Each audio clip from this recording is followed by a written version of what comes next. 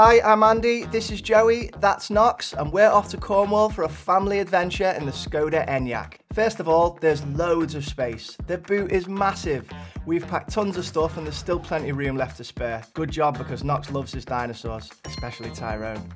Of course, on long journeys you need loads of snacks and there's plenty of space to store all of those.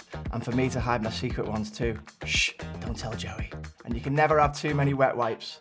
We love the Skoda Enyaq.